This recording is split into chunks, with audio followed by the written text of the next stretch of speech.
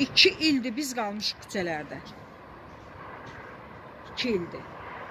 Bakı şəhəri Səbaha rayonu Buxta küçəsi 9 ünvanının sakinləri sözün əsl mənasında ekstrem həyat yaşayırlar. Belə ki, 2017-ci ildə bu ərazi sürüşməyə məruz qalıb. Bir neçə ev dağılıb. Bunun nəticəsində evlərə ciddi zərər dəydiyindən sakinlərin müraciəti əsasında bu qəzalı evlər icra hakimiyyəti tərəfindən uçurulub. Söküntü işləri həyata keçirilərkən Buxta küçəsi 9 ünvanındakı bir çox evlərdə kifayət qədər böyük çatlar əmələ gəlib və söküntü komissiyası sakinlərə deyib ki, narahatçılığa əsas yoxdur. Çünki tezliklə onlar başqa ərazidə mənzillərlə təmin edilib buradan köçürüləcəklər. İllər keçməsinə baxmayaraq sakinləri evlə təmin edən olmayıb və onlar məcbur olub bu qəzalı evlərdə yaşayırlar. Hər an evlərinin uçma təhlükəsi ilə baş-başa qalan şikayətçilər deyirlər ki, uçqun baş versə heç kim buradan sağ çıxa bilməyəcək. Hadisə baş verdi evlər qəzalı vəziyyətdə oldu. Biz müraciət elədik, müraciətimizə əsasən gəldilər bu evləri e, uçurtdular və söz verdilər ki, qısa müddətdə sizi evlə təmin ediləcək, yerləşdirəcək.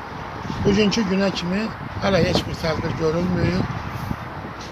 İnsanların əksəriyyəti küçələrdədir. Qohum əqrəbənin evində qalırlar. Bu uçan yer həm mənim, həm qonşunun evidir. Ondan yuxarıdakı evdə qəza vəziyyətindədir. Biz e, işdə olan zaman e, bizim ev qonşular tərəfindən zəng gəldi ki, və evimizin qarşı tərəfi getdi. Uçuldu, töküldü.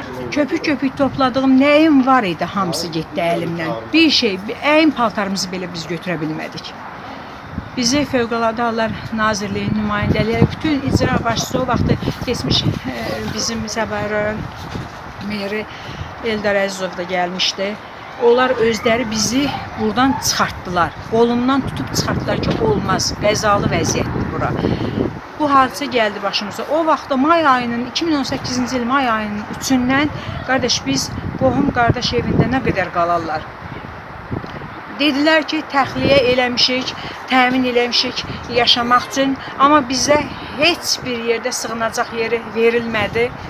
Biz qaldıq küçələrdə. 5 gün onun evində, 5 gün bunun evində. Ən axırda kirayə tutub mən kirayə qalmalı olmuşam. Prezidentimizdən çox-çox xahiş edirəm bu barədə bir tədbir görsünlər. Kanal 13 olaraq mövzuda adı çəkilən bütün tərəflərin mövqeyini işıqlandırmağa hazırıq.